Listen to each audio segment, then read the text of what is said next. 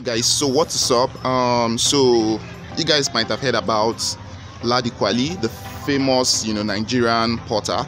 So i'm here at ladi kwali center here in suleja. So basically i'm just learning a lot about you know the history of suleja and also how abuja came to be from suleja and how the whole pottery started just so much to take in right now. So the idea is that we're going to be back to make like an entire documentary about this whole thing.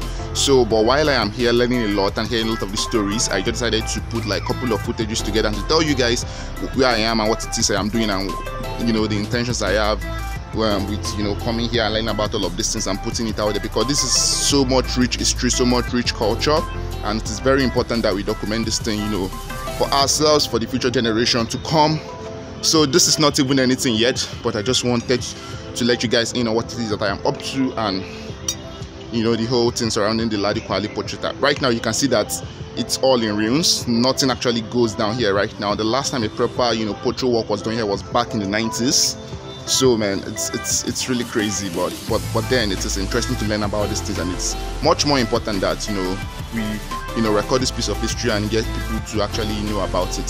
So basically that is what is up and i believe this is not going to be like a proper vlog or anything long like that but yeah you guys just know.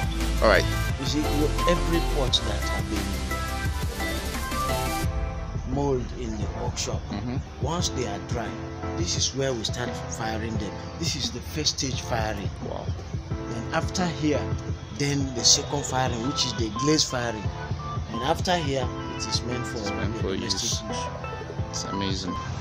These are the some of the older monuments you can still find here with this building